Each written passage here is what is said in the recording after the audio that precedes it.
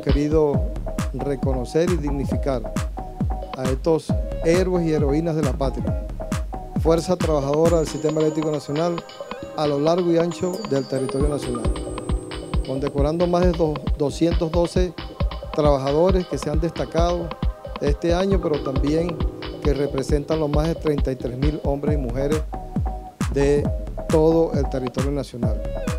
Decreto del comandante supremo Hugo Chávez hace 15 años, cuando se reunificaron todas las empresas del Sistema Eléctrico Nacional en una sola corporación.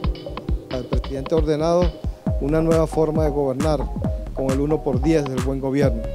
Estamos entregando el día de hoy más de 14 mil implementos en honor al Día Nacional del Electricista. Felicitamos en nombre del presidente Nicolás Maduro a toda la fuerza trabajadora del Sistema Eléctrico Nacional hoy en el Día Nacional del Electricista.